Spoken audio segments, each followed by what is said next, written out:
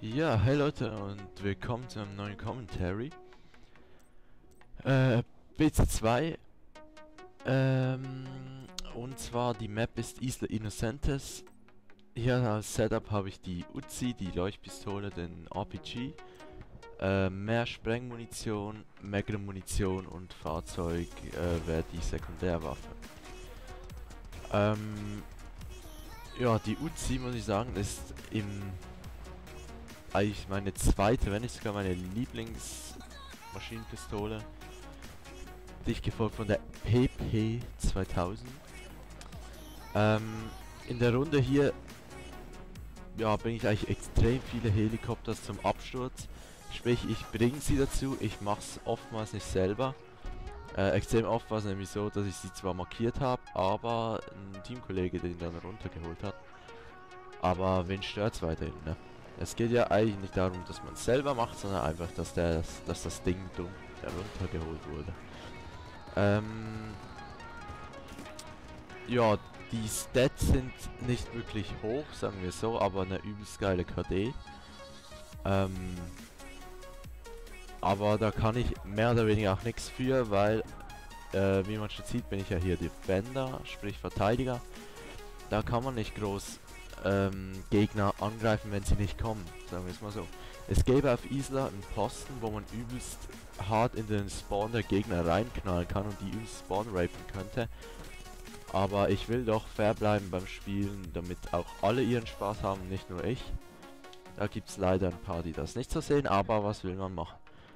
Äh, deshalb gehe ich auch nie irgendwie oben auf den Hügel und knall die da oben ab, sondern ich bin eigentlich immer hier auf der Insel. Mehr oder weniger.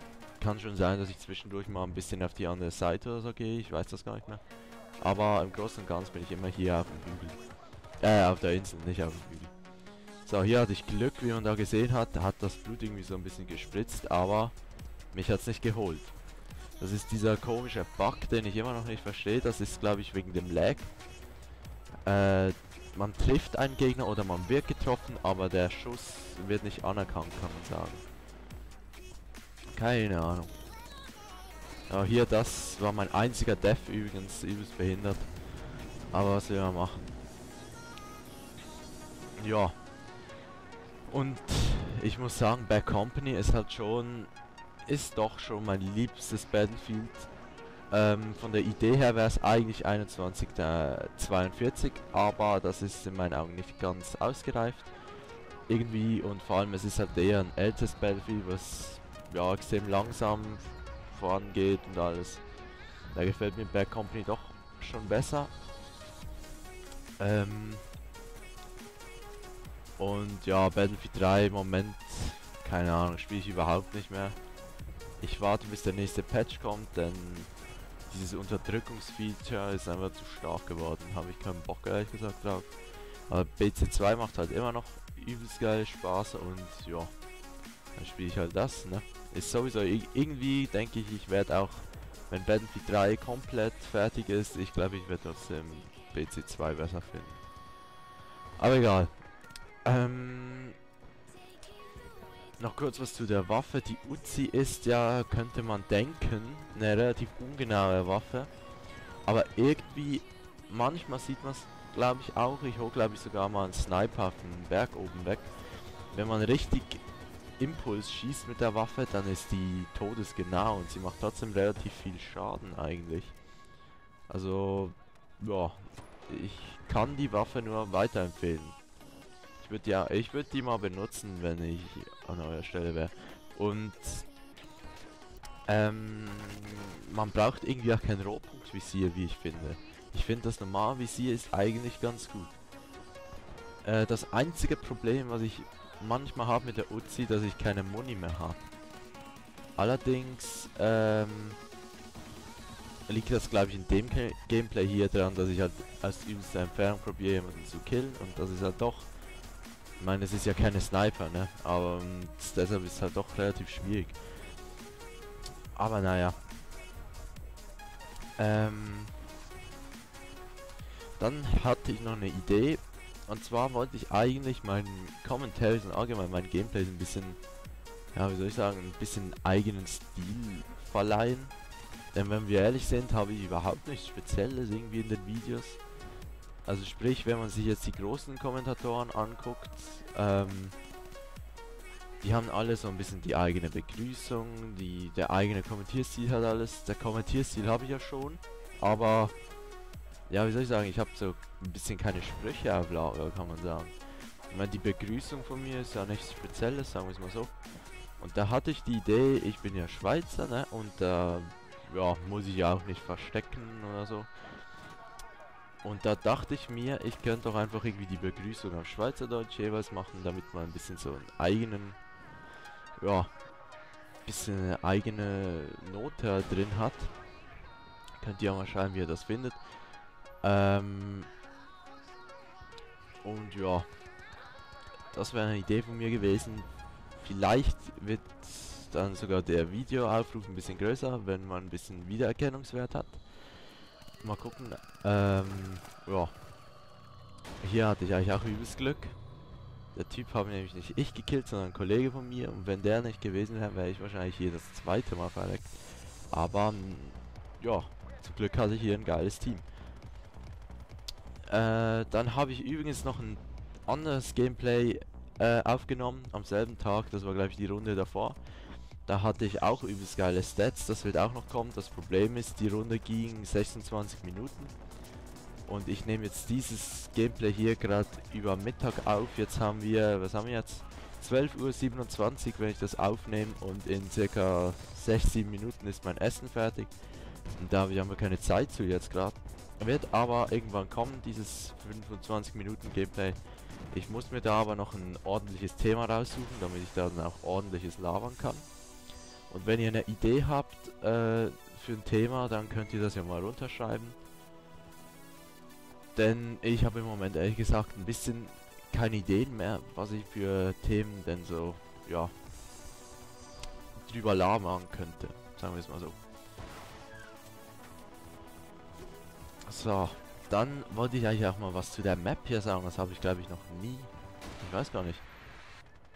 Also Isla ist mitunter einer meiner Lieblingsmaps in BC2 zusammen mit Valparaiso und äh, Nelson Bay eigentlich. Das sind so meine drei Favorite Maps, ne? Nelson Bay einfach, weil es halt, ja, Schneemaps sind übelst geil und dann ist es auch nur in der Nacht, also ist irgendwie auch übelst cool gemacht. Und das reimt sogar. Äh, dann, ja, Valparaiso, da ist übrigens das andere Gameplay, da werde ich vielleicht da etwas ein bisschen drüber erzählen, ist einfach auch übelst geil, die Map. Und hier Isla finde ich einfach extrem geil. Die Map ist nicht zu übertrieben riesig.